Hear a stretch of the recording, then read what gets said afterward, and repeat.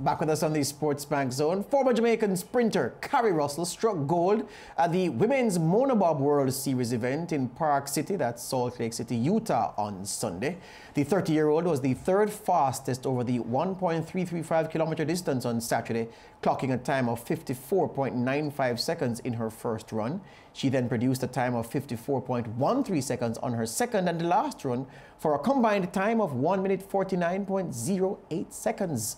Russell, a member of Jamaica's sprint relay winning team to the Moscow World Championships in 2013, denied American Nicole Vogt, who was bidding for a hat trick of wins in this women's monobob season. Vogt took silver, with bronze going to the Brazilian Marina Silva Tuono. The St. Thomas native is uh, trying to get, we're trying to get a link through to her and to talk about her success. But until then, Lance, this is tremendous because Carrie Russell didn't go here where monobob is concerned on, well, where bobsleigh is concerned, until about 2018. I, I, read an article some time ago before this weekend's events that the first time she had seen snow was when she was 26. In October this year, she'll turn 31. Yes. So it's not a long time and she's doing great things already. Yeah, well, she actually qualified for the Winter Olympics in 2018 in Pyeongchang, South Korea, just I think about two or three years after starting the bobsleighing event. Yes. And um, very, very um, commendable that she's been able to make those kinds of strides so quickly in a very demanding sport in conditions that she is completely unaccustomed to. Yep, uh, she was uh, teaming up with Fenlator Victorian, and she was the pusher, wasn't she? Yeah. Because she wasn't the driver. No, when she, she the she brakeman, I think they she, call them. The, well, there you go. Yeah. Right, but she, but now she's doing the driving, so she's transitioned, learning a new role, mm-hmm. and she's excelling. And of course, it's on that on, on, that score that we wanted to have a quick chat with her today. Ah, we do. Carrie Russell, are you there? Good afternoon to you. Good afternoon. I'm here. Yes, the, the, the, the, trademark smile as bright as a trillion watt light bulb. How are you after the weekend exploits in Utah? I mean, I'm good. You have to give God thanks for, you know, all what's going on here. Uh, well, you know what? COVID. We're off to a late start for the season. And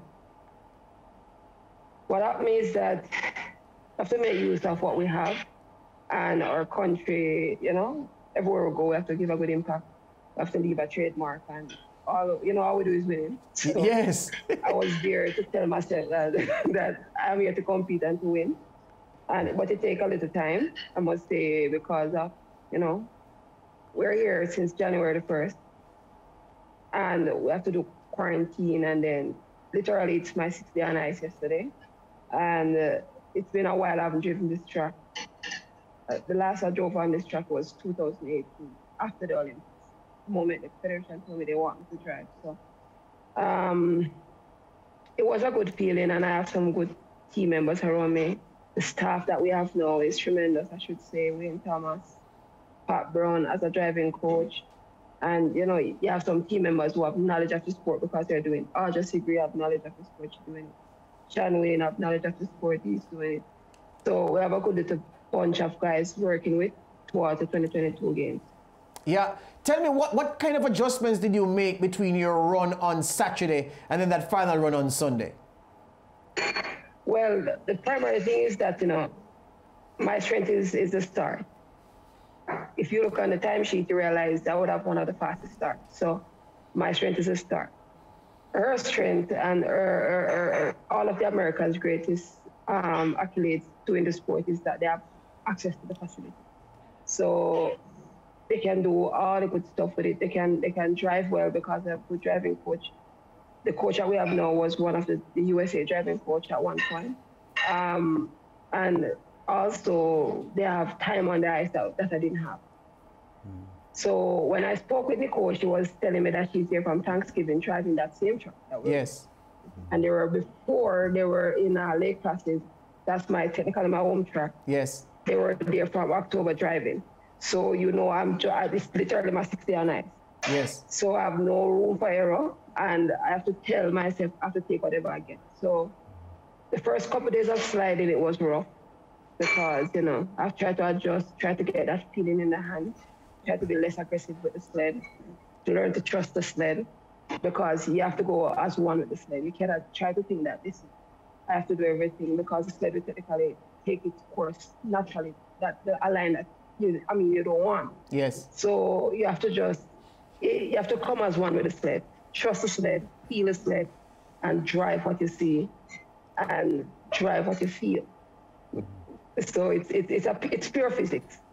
So I mean, I capitalized between Saturday and Sunday. What happened is that Audra and I sit and talk with Coach Wayne. And they said that to me that to run a little bit longer. I said, okay, that's my strength. And because they are, the girl is pushing um, six and I'm pushing five, so she, that's, that's a big difference. So Shanwayne know that's my teammate. He then said to me that, listen, you have to beat it off the hill and leave the rest for them to catch you. Because we know your driving skill, you drive better with speed. And I tell myself, I say, yes, I, I sleep on that, wake up in the morning, and I tell myself that the first run, I have to put it way out of her league, so she have to technically drive actually the track record to, to beat me. So, so, I tell myself that. So I said, listen, no mistake, be calm, look long, drive what you see, look out for the pressures, drive through the pressures, can't drive in a straight, you only can drive on the curb. Yeah. And that's what I tell myself all the way down to the track. Relax, inhale, exhale, look long, drive what you see. Yeah. Carry a fabulous result on the weekend for, for sure. But you said you arrived at the competition venue on the 1st of January, did you?